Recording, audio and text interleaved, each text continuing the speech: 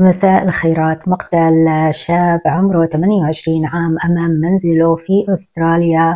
آه، هو يعمل في مجال مرافقة السيدات زي ما في سيدات بيرافقوا الرجال. حديثا بنسمع إنه في رجال يرافقوا السيدات في كل الأحوال. مقتل هالرجل أمام منزله وهو في اليوم التالي عنده محاكمة. يثير الكثير من ردود الفعل في أستراليا. مين هو هالشاب وما هو الدافع من وراء جريمة مقتله؟ كل هاي التفاصيل المثيرة والغريبة بعد الفاصل. خلاله حبايبي لا تنسوني كالعادة اللايك التعليقات اللطيفة وكمان اللي بيسمعوني أول مرة الاشتراك في القناة. نسمع.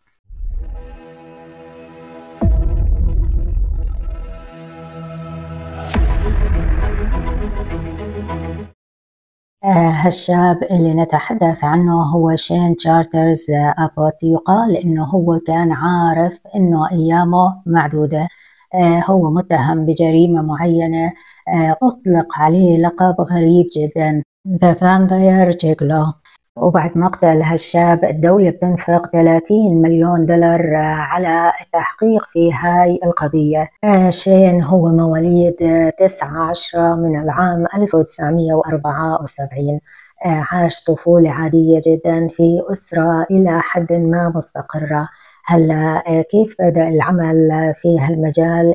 المصادر بتحكي إنه واحدة من أخواته كانت تعمل في المجال. آه، كمان صديقته آه، ويبدو إنه هم وفروا له آه، فرصة عمل معهم. يبدأ العمل في واحدة من الوكالات اللي توظف الرجال للسيدات السيدات للرجال وكمان الأنواع الأخرى.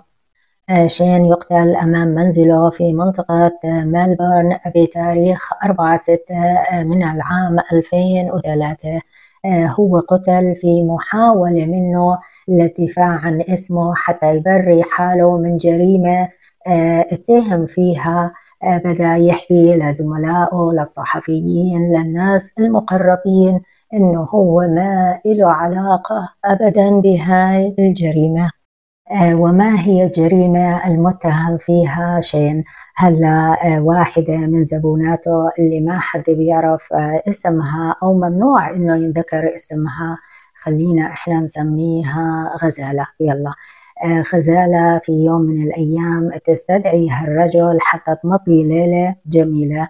إلا أنه آه، هي خلال هاي الليلة بتنام بتوعى وإذا هي مصابة إصابات خطيرة جدا. من ضمن هاي الإصابات أنه لسانها تقريبا مقطوع مسحوب آه، واضح إنه تم ممارسة آه، طقوس معينة عليها آه، أشياء غريبة جدا. من ضمن هاي الإصابات اللي واضح إنه هي كانت يعني خلال عملية جنسية في عندي عدة جروح في منطقة الوجه عضات في منطقة الفخذ في عندي حلمة الصدر فيها جروح بالإضافة لأدلة على دخول أداة حادة. آه، في أجزاء. هاي السيدة الحساسة حادة أو ثقيلة المهم أنه تم استخدام أدوات. آه، طبعا الوجه متورم تماما. آه، بالإضافة لذلك تقرير الطبيب الشرعي يتحدث عن كدمات حول العين الأنف. بالإضافة لأنه يعني منطقة الخلفية أيضا عليها ضربات قوية جروح. آه، وما بدنا ننسى أهم شيء واللي هو إنه جزء من لسانها تم قطعه مفقود واضح إنه هي عملية جنسية من عالم المجانين. تعرفوهم هدول الساديين اللي يمارسوا هاي الأعمال يستمتعوا فيها. مبدئيا الشخص اللي تعامل مع هاي السيدة هو سادي. حادثة آه، السيدة غزالة صارت في العام 2002 آه، في منطقة ملبورن ساوث يارا في واحد من الفنادق الرخيصة اسمه The Saville يقال إنه في العام 2015 تحول إلى واحدة من مجموعة الشقق الفاخرة. آه، في شهر أوغست من العام 2002 هاي السيدة آه، غزالة بيخطر على بالها إنه آه، تحجز هالرجل يجي عندها على الغرفة 307 في الفندق. هي رابع مرة بتحجزه. هلا لما تصحى من نومها تكتشف هاي الجروح هاي الأشياء اللي صايرة معها.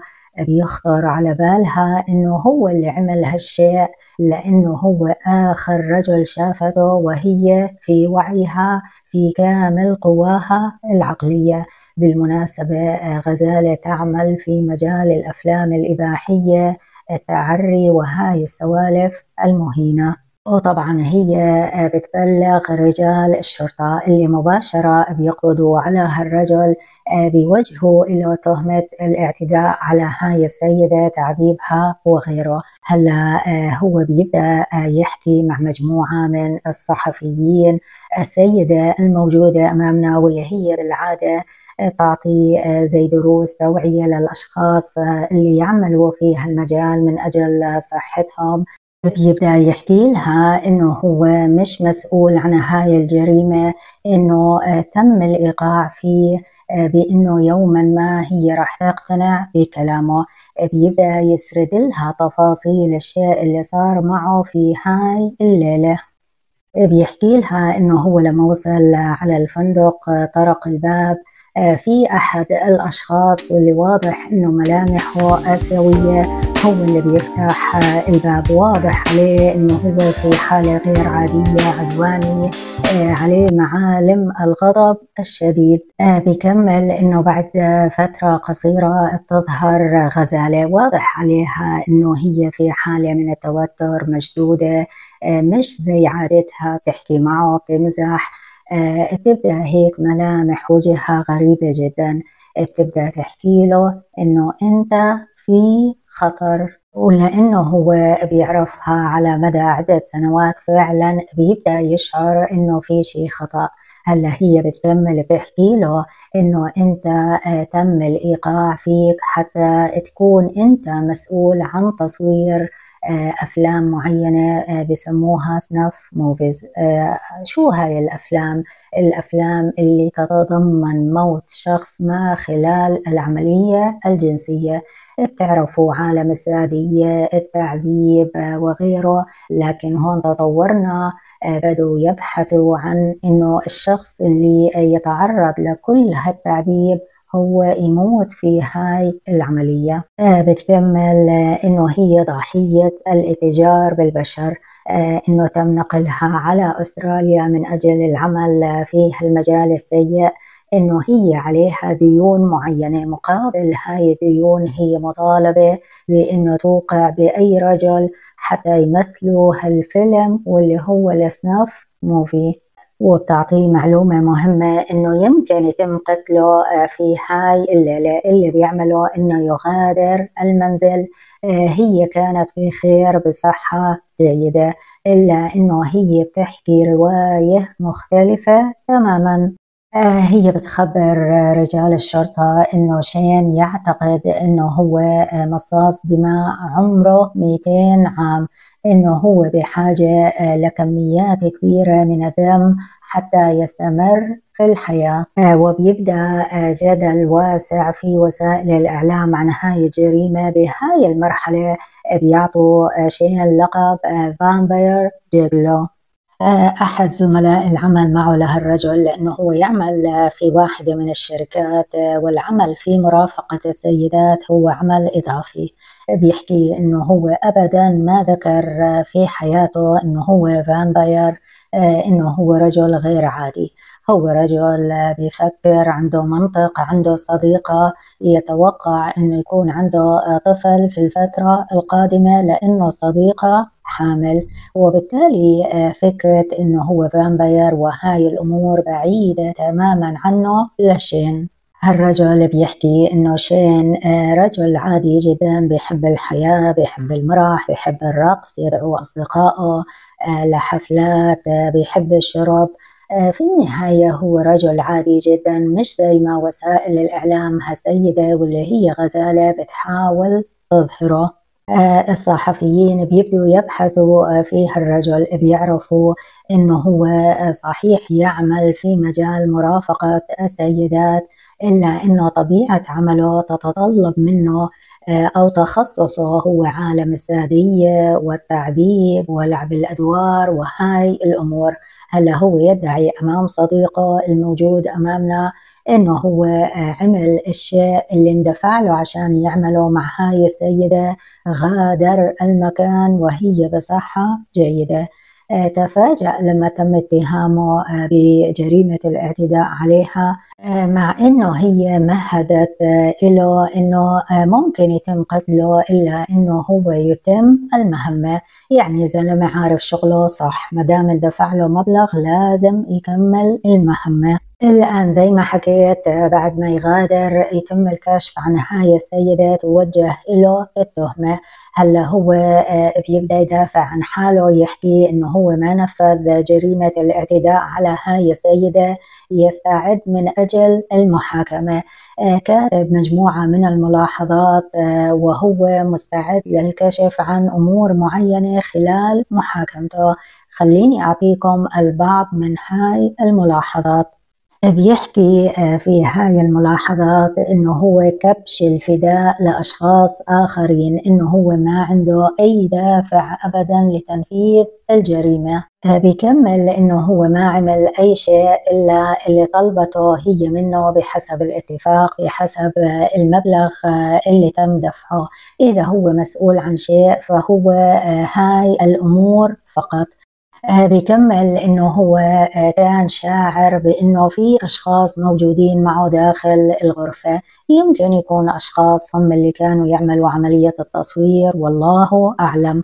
بعد هيك آه، لما يتم توجيه التهمة له هو بيبدأ يحلل يجمع الأمور بيوصل لنتيجة إنه تم الإيقاع فيه إنه هو مراقب الآن يبدأ آه، حديث آه، الصحفيين أنه المشتركين في هاي القضية هم من علية القوم زي ما بنحكي آه، قضاة محاميين رجال أعمال اللي بيحبوا هاي النوعية من الممارسات. ممكن يكونوا هم إلهم أسماء في هاي القضية لهيك تم توجيه التهمة لهالرجل واللي هو كبش فداء هو بيبدأ يخبر آه، هاي السيدة الموجودة أمامنا بأنه هو رح يكشف مجموعة من الأمور اللي ممكن آه، في النهاية تؤدي للكشف عن بعض الأسماء السياسيين وغيره. هالحكي بيصير بينه وبينها خلال واحد من أيام المحاكمة. هم يجلسوا خلفهم رجال الشرطة. هلا هو بيبدأ يشعر أنه هو مراقب بيحاولوا إنه يسمعوا الكلام اللي بيحكيه لهاي السيدة. بيحكي لها إنه هو خايف على حياته لكن مصر على كشف الحقيقة. آه، في صباح اليوم التالي المفروض إنه هو يروح على المحاكمة الرسمية في هاي القضية يقدم شهادته. الآن أمام منزله بيتم إطلاق الرصاص عليه. آه، تخيلوا إنه هو مع صديقته أمام بيته آه، أو باب البيت بيتم استهدافه لوحده. الآن عاد خلال هاي المحاكمة لا في شان يجاوب على الأسئلة ولا في أي معلومات ممكن يتم الكشف عنها. uh, anyway بيبدوا عاد رجال الشرطة يبحثوا uh, مين ممكن يكون مسؤول عن هاي الجريمة. بيوصلوا لأحد الرجال في حياة هالسيدة اللي هي غزالة إنه ممكن يكون له علاقة بهاي الجريمة واللي هو uh, مارك أدريان. بيبدوا عادي يبحثوا في حياة هالرجل بيعرفوا إنه هو داخل في عالم العصابات تجارة المواد الممنوعة وغيره. آه، بدأ أول شيء بالنوادي الليلية بعدين طور صار تاجر صار من رجال العصابات. هلا هو على علاقة فيها لغزالة. آه، بحسب بعض المصادر آه، الجيران المعارف اللي بيعرفوها. لهاي السيدة بدوا يتواصلوا مع رجال الشرطة يعطوا اسمه لمارك بيري إلا أنه بمر ثلاث سنوات على مقتل شين بدون ما يتم اعتقاله بدون ما يتم حتى سؤاله. آه، بحسب بعض المصادر هم خلال هاي الفترة اللي هي السلطات المحلية في ملبورن عاملين حملة على جميع العصابات أخذت منهم ثمان سنوات تقريبا وبالتالي ما كان عندهم الوقت الكافي لمتابعة هاي القضية. تخيلوا وبنوصل لنهاية العام 2004 بداية العام 2005 خلال هاي الفترة قضية هالشاب اللي هو شين ما زالت بتاخذ صدى على وسائل الإعلام آه، الأشخاص اللي مهتمين بعالم الجريمة اللي بده يعمل كتاب اللي بده يألف آه، رواية عن هاي القضية. آه، وحتى السجناء الموجودين داخل السجن بيبقوا كمان البعض منهم يسمع عن هاي القضية يحاول إنه يكون له دور معين. يتواصلوا مع رجال الشرطة. واحد فيهم بدون ذكر اسمه لأهداف أو لأمور قانونية يتواصل معهم. آه، أول ما يشوفهم كاتب على إيده كلمة فامباير آه، وكأنه هو عنده معلومات عن هاي القضية.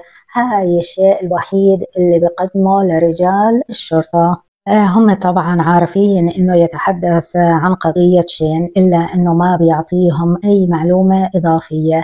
بيرجع بعد عام يتواصل معهم مرة أخرى. هاي المرة بيحكي لهم إنه هو مستعد يعمل معهم مقابلة بشرط إنه ما يتم عرض وجهه على الكاميرا. راح يقدم معلومات مهمة. آه، في النهاية بيوافق رجال الشرطة وفعلا بتبدأ المقابلة.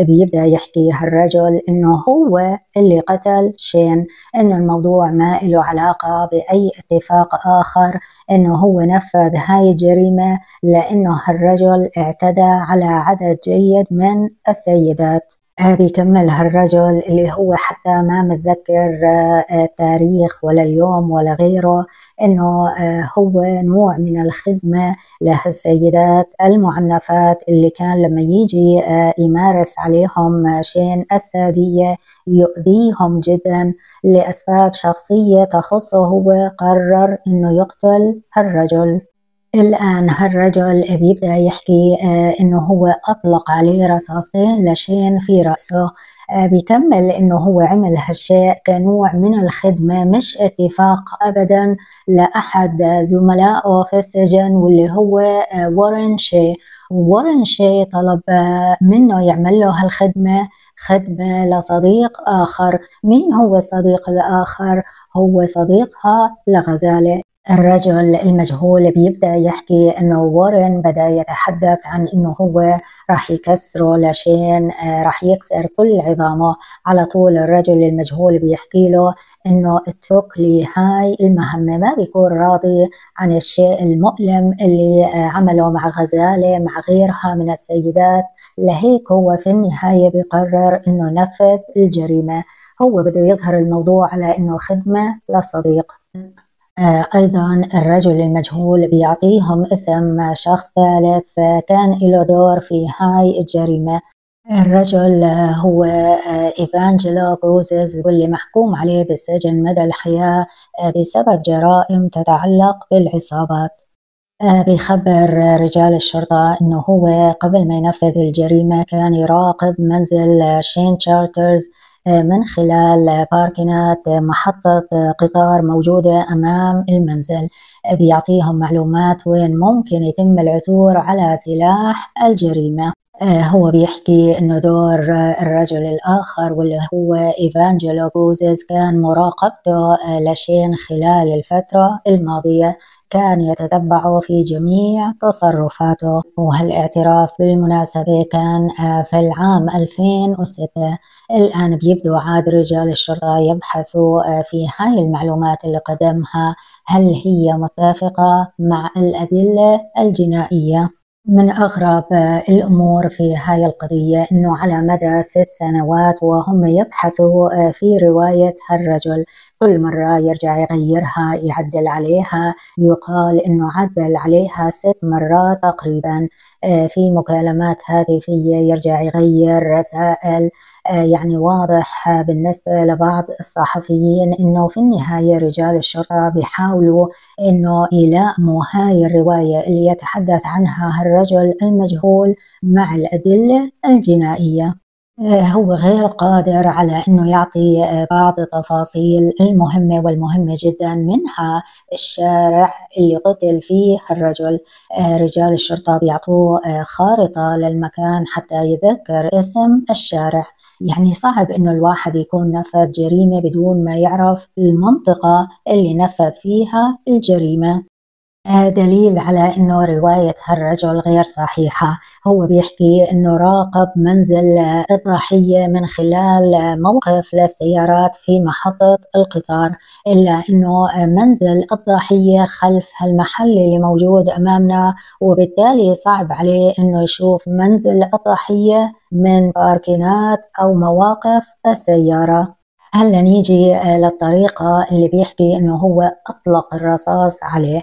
آه، مبدئيا هو بيحكي إنه الرصاصة الأولى في منطقة آه، الصدر الرصاصة الثانية في منطقة الرقبة قريبة جدا على الرأس إلا أنه الأدلة الجنائية بتحكي رواية مختلفة تماما. إنه تم إطلاق الرصاصة من منطقة اللي إجت في الرأس بالذات من منطقة قريبة جدا. المسدس كان قريب جدا على منطقة الرقبة آه، والرصاصة تصعد إلى الأعلى. هو بيحكي إنه آه، وجهها بشكل مستقيم. آه، ما بعرف يمكن الصور تفسر أكثر من كلامي. هلا نيجي لنقطة مهمة أيضا واللي هي سلاح الجريمة هو لما خبر رجال الشرطة عن المسدس آه، حكى لهم إنه راح يتم العثور على آه، رصاصتين آه، فارغات. راح يتم العثور على رصاص ما زال في المسدس.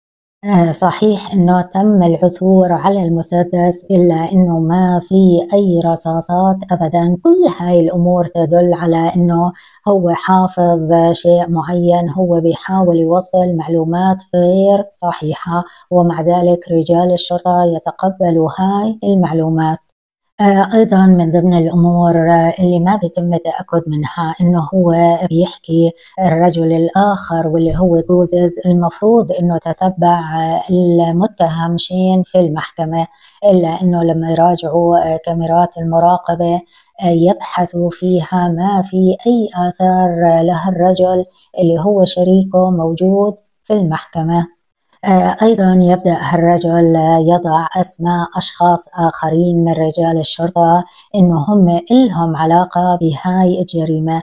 الرجل الموجود أمامنا واللي خدم في سلك الشرطة على مدى 28 عام هو أحد الأشخاص اللي تم زج اسمه في هاي القضية. آه، الرجل المجهول يدعي إنه بيتر لارول واللي كان يعمل في Prahran police station آه، ساعدوا بهاي الجريمة بأنه عمل زي مذكرة يثبت وجوده فيها في مركز الشرطة بعيدا عن مسرح الجريمة في اليوم اللي صارت فيه. آه، أيضا هو يدعي أنه دفع رشوة له الرجل أو رجل الشرطة واللي هو بيتر أمام رجال شرطة آخرين. كل هاي ادعاءات بيتر لوريل ينكرها تماما. المجهول يدعي إنه هو أخذ عنوان ولا شيء من آه، رجل الشرطة واللي هو بيتر بيتم إيقافه عن العمل لبيتر بسبب هاي الإدعاءات. وما بيكتفي آه، هالرجل المجهول ببيتر لوحده. بيبدأ يضع أسماء رجال شرطة آخرين أربعة على الأقل. هو عمل معهم اجتماعات لقاءات. خلال فترة تخطيطه لتنفيذ الجريمة. آه، هو يدعي أنه اجتمع فيهم في واحد من الأماكن لما بيتر أعطاه عنوانه آه، لشين إلا أنه الجميع ينكر هالاجتماع مستغربين كيف ممكن رجال الشرطة يبدوا يبحثوا آه، في هاي النقطة. آه، جميع المتهمين من رجال الشرطة بيكون عندهم أدلة إنه هم ما لهم علاقة أبدا بهاي الجريمة. في كل الأحوال هالشيء يؤثر جدا على وضعهم الوظيفي. إلا أنه واضح رجال الشرطة في النهاية بدهم ينهوا هاي القضية بأي ثمن. خلال هاي الفترة زي ما حكيت حرب على العصابات في عدد من رجال الشرطة ثبت ورطهم في قضايا العصابات وبالتالي بدهم يثبتوا للجميع أنه حتى لو كان رجال الشرطة مشاركين في جرائم قتل فهم خلاص بدهم يقضوا على الفساد بدهم ينهوا جميع هاي الاتهامات الموجهة لرجال الشرطة. بيعملوا عاد بتعرفوا آه، زي محاولة لمحاربة آه، الفساد بغيروا آه، في جهاز الشرطة في النهاية المسؤولين الجدد بدهم يثبتوا إنه هم ماشيين بالشكل الصحيح. الآن فجأة يظهر أمامهم هالرجل اللي يدعي إنه هو اللي نفذ الجريمة. هم مستعدين إنه يعملوا معه اتفاق الرجل المجهول. الاتفاق إنه هو يعترف بالشيء اللي صار ما راح يمضي أي يوم زيادة داخل السجن على هاي الجريمة. المهم الاعتراف. وأكيد بيخطر على بالكم عن دور الصديق واللي هو مارك صديق. هلا غزالة في هاي القضية رجال الشرطة بيبدوا يتعقبوا يحاولوا أنه يسجلوا بعض أحاديثه مكالماته في مرة من المرات بيوصلوا لمطعم المفروض أنه يكون موجود في هالمطعم بيضعوا أجهزة التنصت في علب الملح والفلفل الموجودة على الطاولة. آه، يقال إنه واحد من رجال الشرطة كان موجود آه، قريب عليهم يحاول إنه يتنصت آه، على الحديث اللي يدور بين هالرجل والأشخاص الآخرين. لكن عاد صوت الملاعق والسكاكين وغيره في النهاية تفشل محاولتهم. هاي المحاولة كانت هي المحاولة الأخيرة لهم لأنه هالرجل يختفي تماما اللي هو مارك بعد هاي المحاولة. وبتبدأ عملية بحث عنه. آه، لمارك بيري آه، يعلن عن جائزة بقيمة واحد مليون دولار آه، مقابل أي معلومات عنه. آخر صور له هاي الصورة في العام 2005 في مطار ملبورن الصورة الثانية في العام 2007 في واحدة من محطات البترول. بعد هيك هالرجل يبدو أنه بنتبه رجال الشرطة يتتبعوه آه، يختفي تماما. آه، هم توقعوا أنه غادر أستراليا توجه إلى تايلاند بيتبعوه لفترة في هاي الدولة إلا أنه ما في له أي أثر. آه، في النهاية بيعرفوا أنه هو لا ترك أستراليا ولا شيء. هو موجود في مدينة أخرى اللي هي بيرث هو عايش آه، لا عنده سيارة ولا شيء يتنقل من خلال آه، البايسكل يعمل أعمال يدوية بياخد كاش بيدفع أجاره كاش. بالتالي ما استطاعوا أنه يتتبعوه من خلال البطاقات البنكية وغيره. ما عنده موبايل وبالتالي كان صعب جدا إنه يتبعه. بنوصل للعام 2013 بالصدفة يلتقي بواحد من الأصدقاء. آه، هالصديق في النهاية يمكن بدأ يفكر بمبلغ المليون دولار بيستدرجه آه، لهاي الأماكن اللي بيتصوروا فيها بيتصور معه بياخد الصورة على رجال الشرطة. آه، وأخيرا بيتم القبض عليه توجه له تهمة المشاركة في جريمة قتل شين. وبعد ما يتم القبض عليه بتبدأ غزالة عاد تغير شوي في روايتها. بتحكي إنه في مرة من المرات التقت في لمارك في واحد من المطاعم. بدأ يهمس لها يحكي لها إنه هو اللي نفذ الجريمة. شايفين الصورة الموجودة أمامنا بيحكي لها إنه هو مسكه بهاي الطريقة. أطلق عليه الرصاص بالشكل الموجود أمامنا. وأكيد حبايبي عارفين إنه هالشيء يتوافق مع تقرير الطب الشرعي مع تقرير الأدلة الجنائية مختلف تماما عن الرواية السابقة للرجل المجهول. تقرير الطبيب الشرعي بيحكي أنه الرصاصة كانت باتجاه عمودي. آه، بينما الرجل المجهول بيحكي أنه هو أطلق الرصاص في اتجاه أفقي. مبدئيا رواية مارك بيري هي المنطقية أكثر. آه، طبيعي جدا الآن إنه يتغير مسار التحقيق إلا إنه اللي بصير أبدا ما بيتغير. هم يتوافقوا أو يؤيدوا رواية الرجل المجهول. بتعرفوا لأنه هون راح يرجعوا يحكوا عن تدخل رجال الشرطة. آه، إنه هم في النهاية زجوا بأسماء أربعة من رجال الشرطة اللي هم بريئين تماما. آه، وبنوصل العام 2014 بعد 11 عام على حدوث جريمة مقتل شين ثلاث رجال الموجودين أمامنا يخضعوا للمحاكمة آه، اللي هم مارك بيري آه، جوزز وأيضا شي. وخليني أذكركم مين هم الثلاث رجال. أول شيء آه، الصديق واللي هو مارك بيري صديق هالة غزالة الرجل الثاني هو جوزز تذكروه اللي كان يتتبع شين آه، خلال فترة المحاكمة أو يراقبه. الرجل الثالث هو آه، شيء واللي هو المفروض طلب من الرجل المجهول تنفيذ الجريمة أو أعطاه إيحاء بتنفيذ الجريمة. مين الشاهد مع المدعي العام في هاي المحاكمة؟ آه، هو الرجل المجهول اللي في النهاية تبنى تنفيذ هاي الجريمة. طبعا هو زي ما حكينا ما وجهت له أي تهمة. هلا لما تبدأ المحاكمة المفروض إنه هو يقدم شهادته من خلال آه، يعني الفيديو. آه، ما يكون موجود في المحكمة إلا أنه هو يرفض أنه يجي على المكان يغادر آه، الغرفة اللي هي الزنزانة حتى يبدأ بتقديم شهادته من خلال الفيديو. آه، في النهاية هو بيبدأ يقدم المعلومات مرة أخرى أو الشهادة. هنا بيبدأ يحكي عاد معلومات مختلفة تماما عن الإفادة اللي قدمها آه، في الأعوام السابقة. بتعرفوا بيبدأ تناقض بيبدأ حالة من الفوضى داخل قاعة المحكمة. لأنه في تناقض كبير بين الأشياء اللي بيحكيها بهاي الفترة بالأشياء اللي حكاها لما تم الاعتراف. من ضمن هاي التناقضات إنه هاي المرة بيحكي آه، شيء طلب منه إنه يأذي هالرجل ما يقتله. آه، الموضوع قائم على أساس إنه هي مؤامرة لتنفيذ جريمة قتل. شوفوا عاد المفاجأة.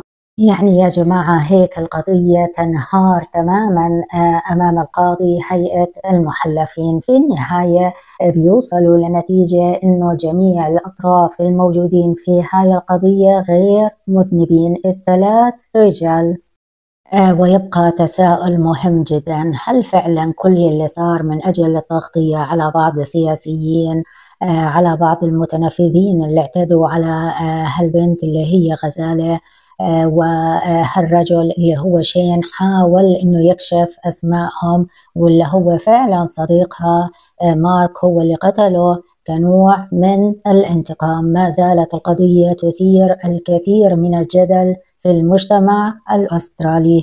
وهيك بتنتهي قصتنا لليوم لكن عندي بعض التفاصيل. من ضمن هاي التفاصيل آه، إنه الرجل المجهول ما زال موجود في السجن آه، بسبب التهم السابقة اللي حكينا عنها. ما عنده نية إنه يقدم على آه، يعني فرصة لإخلاء سبيله. بيحكي إنه هو بده يموت داخل السجن. آه، من ضمن التفاصيل الأخرى أنه رجال الشرطة الضباط اللي حكينا عنهم الأربعة ما وجهت لهم أي تهمة رسمية إلا أنه هالشيء أثر على وضعهم في العمل في المهنة.